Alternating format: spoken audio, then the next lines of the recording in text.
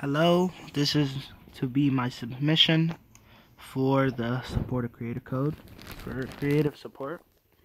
I have a map that I've actually worked on a year ago, but I have not been able to publish it, and I put a lot of hard work into it, and I feel like others will enjoy. Sorry I have to do this one-handed, so it's a little slow since I'm holding onto my camera. Actually, hold on. Um,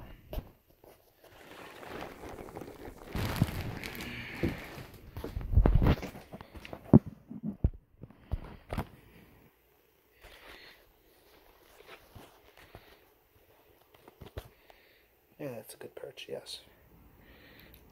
My name is right there, Broken Origami. And where's my portal? Hold on. There it is. Okay, this is my portal. Let me change the map.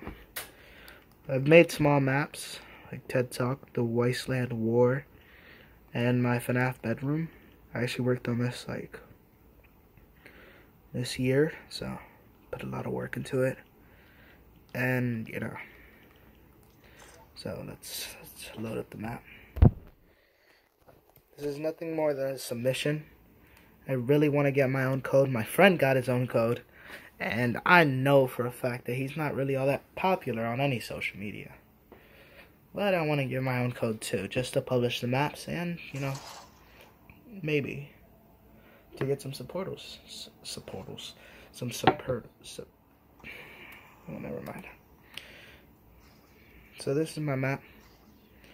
I'm gonna show it on a more deeper display. Hold on. Oh, fuck.